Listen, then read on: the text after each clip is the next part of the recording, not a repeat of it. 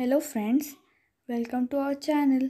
Today in this video we will see class 7th chapter 7 soil extra questions. So let's start.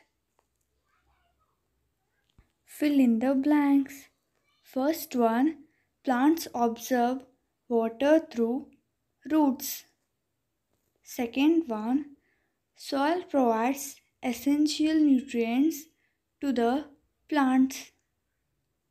Third one, humus in the soil is essential for soil fertility. Fourth one, soil erosion is a natural process whereby the top layer of soil erodes. Fifth one, sandy soil is sandy in nature. So the sixth one, use of biodegradable products like cotton or jute bags can reduce soil pollution. Seventh one, after plants decay, they mix with the layers of the soil. Eighth one, soil pollution is the degradation of the land area due to excess use of chemicals, deforestation, and improper disposal of waste products. So the next mean is give one word for each. First one soil which can hold more air. Answer loamy soil. Second one soil which is best for growing crops. Answer loamy soil. Third one the layer which consists of large and small rocks. Answer parent rock. Fourth one which of the components of the soil are found because of dead and decayed matters of plants and animals. Answer humus. Next main true or false. First question Soil is formed from weathering of rocks. True. Second one bedrock is non porous in nature. True. Third one soil formation is a quick and short process. False.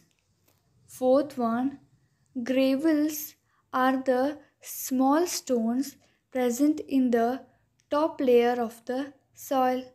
True. Fifth one, loamy soil is a mixture of gravel and rocks. False.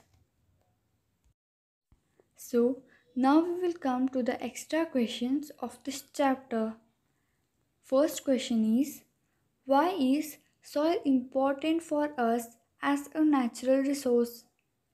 Explain how we depend on soil. Answer Soil is important for us as a natural resource as it is the main source of food, clothing, and shelter. First point soil supports the growth of the plants, which are the food producers of all living organisms. Second point we also depend on soil for minerals and ores that are deep inside the earth. Example gold and iron. Third point the rainwater seeps inside the ground and gets stored as groundwater for later use. Second question Discuss any five types of soils along with the crops grown in them. First one, alluvial soil. It is found near rivers and has huge amounts of humus and potash. It can be sandy and it is quick drier. It is used for growing crops like rice, wheat, cotton, sugarcane and jute. Second one, black soil. It is normally black in color. It can have little amount of sand and large amount of clay. It is used to grow crops such as rice and maize. Third one, yellow and red soil. They are usually rich in iron oxide and have a yellow and red color appearance. They are a little acidic and sandy in nature. It is used to grow millet, groundnut, ragi, potato, etc. Fourth one, desert soil. The soil is sandy in nature. It is highly porous and is beneficial for growing millet and barley crops. Fifth and the last point, laterite soil. This type of soil is found near coastal areas. It is normally red in color. It is used to grow tea, coffee, and coconut. Third one, how does soil form? Answer Soil formation is a slow process taking place due to weathering of rocks. In this process, the huge pieces of rocks are broken down into smaller pieces due to the action of wind, water, and heat of the sun. First point the roots of tiny plants growing on the rocks also cause the rock to break into pieces. Second point lichens drawing on the surface of rocks produce acids that acts on the rocks causing it to turn into small pieces. Fourth one, write a short note on properties of soil. Answer properties of soil. First, plant retention of water by soil. Soil can retain water which helps the plant to grow. Sand has the lowest water absorption rate whereas clay has the highest rate of water observation. Second point percolation rate of water in soil. It is the capacity of soil to hold water. This rate depends on the size of the soil particles. Smaller the particles in size, lesser the percolation rate. Third one, moisture in the soil. The presence of water in the soil is known as soil moisture. This is very important for plant growth. Example, desert soil has a little moisture or no moisture.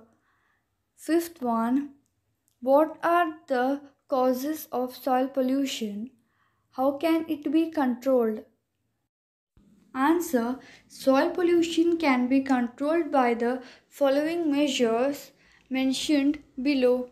First point reduce usage of chemicals in agriculture land. Second point avoid use of plastic and other non biodegradable products. Third point use biodegradable products like cotton or jute bags. Fourth point throw garbage in the dustbin instead of throwing them in an open area. Fifth point grow and purchase organic food items. Sixth point create humus for soil at home by decomposing vegetables, tea leaves, and other plant materials. This process is called composting. Seventh point adopt the concept of three R's in daily life reduce, reuse, and recycle. Seventh question What are the factors affecting the formation of soil?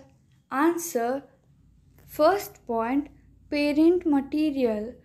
It is the area of soil where the soil gets formed.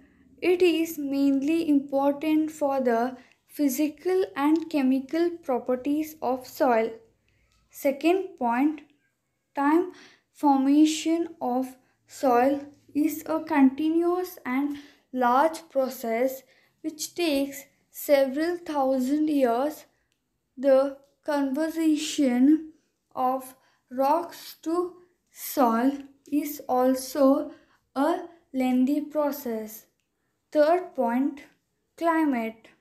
The average weather condition of a place determines the rate of the weathering process and determine the type of vegetation responsible for soil formation. Fourth point landforms and topography the shape of land area the stop of the land area and the position of the landscape is the formation determinants of soil fifth point organisms animals plants fungi and bacteria secretes acids and are capable of changing the chemistry and formation of the soil. Eighth and the last question of this chapter explain the following in brief. First one soil origin, second soil structure, third soil porosity, and the fourth soil color. Answer First one soil origin. The various reasons and origin responsible for soil formation are volcanoes, earthquake, breaking of soil landslides. These are responsible for the formation of different types of soil. For example, weathering of mountains from large rocks and gravel. Second point soil structure. This is important for regulating the mountains of air and water in the soil. Also, it affects the nutrients availability. Third point soil porosity. It refers to the porous or space that exists in the soil. This differs from soil to soil. This effect and movement of air and water in soil. Fourth point soil color. Soil can be of different color like black, yellow, red, brown depending on the area.